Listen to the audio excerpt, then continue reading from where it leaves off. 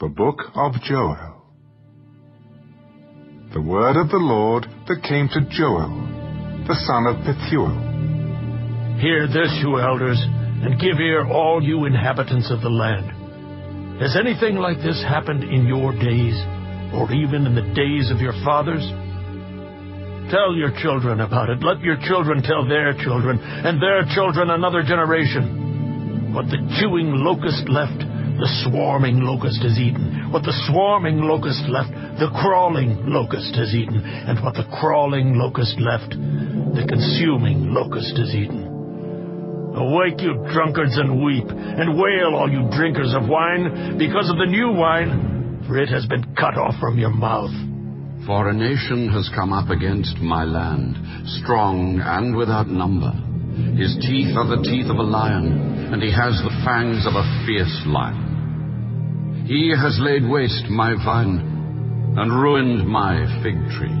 He has stripped it bare and thrown it away. Its branches are made white. Lament like a virgin girded with sackcloth for the husband of her youth.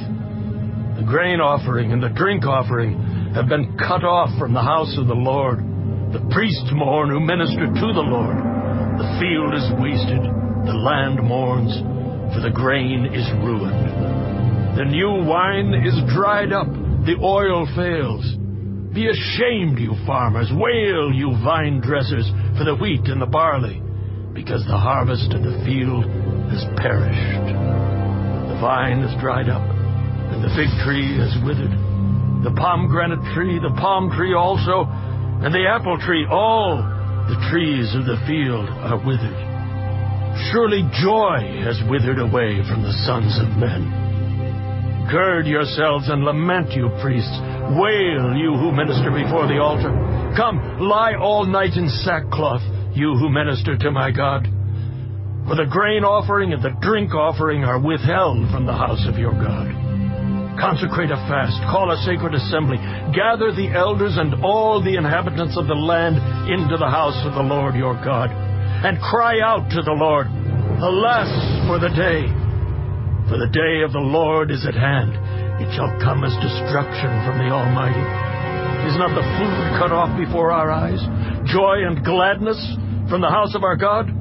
The seed shrivels under the clods. Storehouses are in shambles.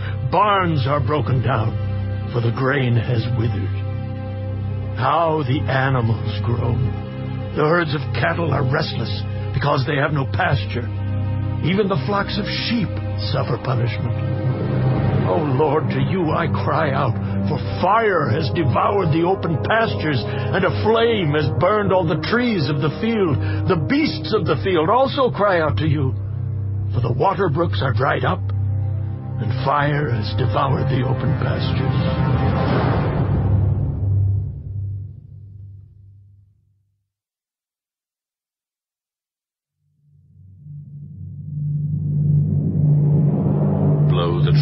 Zion, and sound an alarm in my holy mountain. Let all the inhabitants of the land tremble, for the day of the Lord is coming.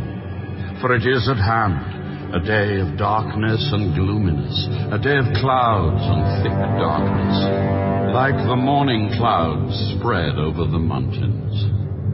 A people come, great and strong, the like of whom has never been nor will there ever be any such after them, even for many successive generations. A fire devours before them, and behind them a flame burns. The land is like the Garden of Eden before them, and behind them a desolate wilderness. Surely nothing shall escape them. Their appearance is like the appearance of horses, and like swift steeds, so they run.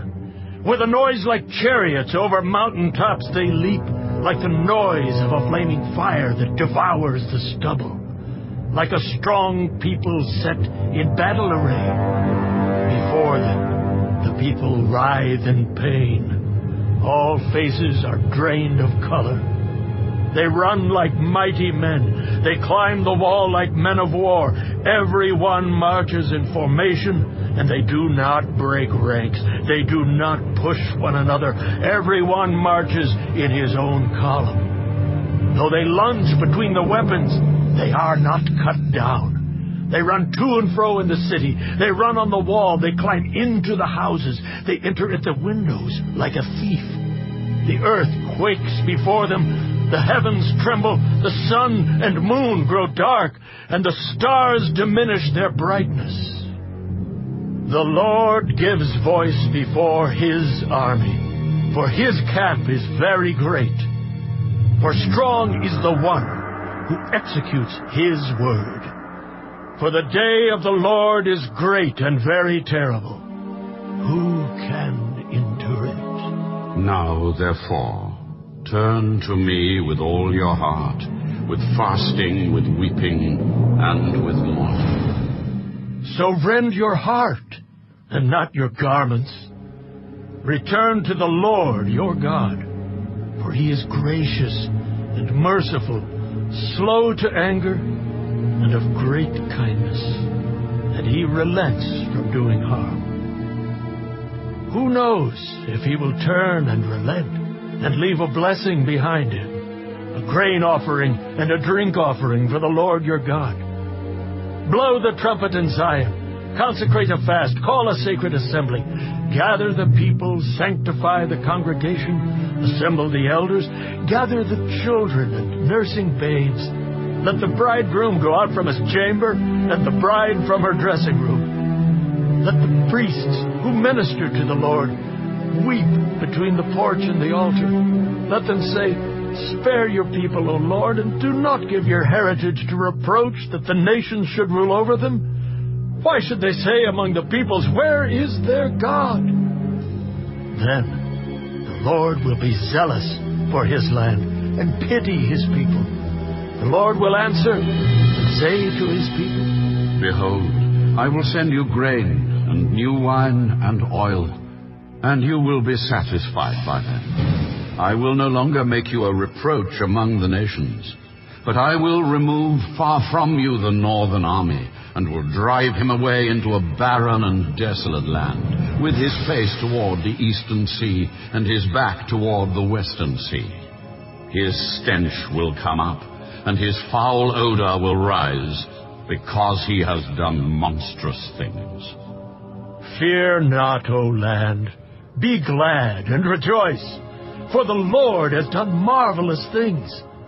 Do not be afraid, you beasts of the field, for the open pastures are springing up, and the tree bears its fruit. The fig tree and the vine yield their strength. Be glad then, you children of Zion, and rejoice in the Lord your God, for he has given you the former rain faithfully, and he will cause the rain to come down for you, the former rain and the latter rain in the first month. The threshing floor shall be full of wheat, and the vats shall overflow with new wine and oil. So I will restore to you the years that the swarming locust has eaten, the crawling locust, the consuming locust, and the chewing locust, my great army, which I sent among you. You shall eat in plenty, and be satisfied, and praise the name of the Lord your God, who has dealt wondrously with you. And my people shall never be put to shame. Then you shall know that I am in the midst of Israel. I am the Lord your God, and there is no other. My people shall never be put to shame. And it shall come to pass afterward that I will pour out my spirit on all flesh. Your sons and your daughters shall prophesy. Your old men shall dream dreams. Your young men shall see visions. And also on my men servants and on my maid servants I will pour out my spirit in those days. And I will show wonders in the heavens and in the earth, blood and fire and pillars of smoke. The sun shall be turned into darkness and the moon into blood before the coming of the great and awesome day of the Lord. And it shall come to pass that whoever calls on the name of the Lord shall be saved. For in Mount Zion and in Jerusalem there shall be deliverance, as the Lord has said, among the remnant whom the Lord calls.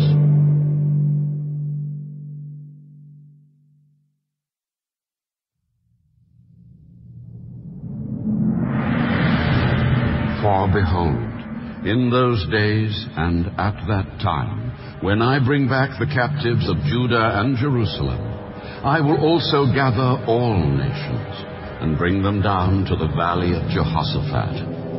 And I will enter into judgment with them there on account of my people, my heritage Israel, whom they have scattered among the nations. They have also divided up my land they have cast lots for my people, have given a boy as payment for a harlot, and sold a girl for wine, that they may drink. Indeed, what have you to do with me, O Tyre and Sidon, and all the coasts of Philistia? Will you retaliate against me? But if you retaliate against me, Swiftly and speedily I will return your retaliation upon your own head. Because you have taken my silver and my gold, and have carried into your temples my prized possessions. Also, the people of Judah and the people of Jerusalem you have sold to the Greeks, that you may remove them far from their borders. Behold, I will raise them out of the place to which you have sold them, and will return your retaliation upon your own head. I will sell your sons and your daughters into the hand of the people of Judah, and they will sell them to the Sabaeans, to a people far off. For the Lord has spoken. Proclaim this among the nations. Prepare for war. Wake up the mighty men let all the men of war draw near. Let them come up. Beat your plowshares into swords, and your pruning hooks into spears. Let the weak say, I am strong. Assemble and come, all you nations, and gather together all around.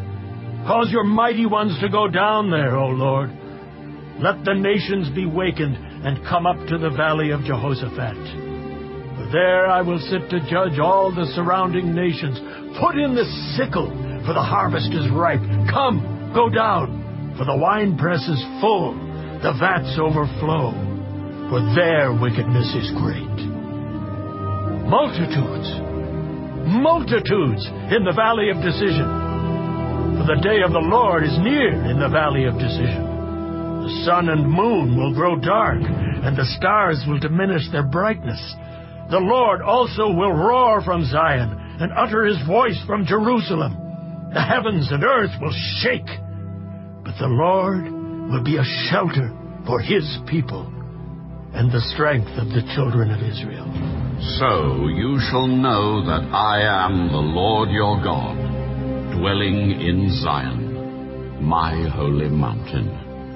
Then Jerusalem shall be holy and no alien shall ever pass through her again. And it will come to pass in that day that the mountains shall drip with new wine, the hills shall flow with milk, and all the brooks of Judah shall be flooded with water. A fountain shall flow from the house of the Lord, and water the valley of Acacias.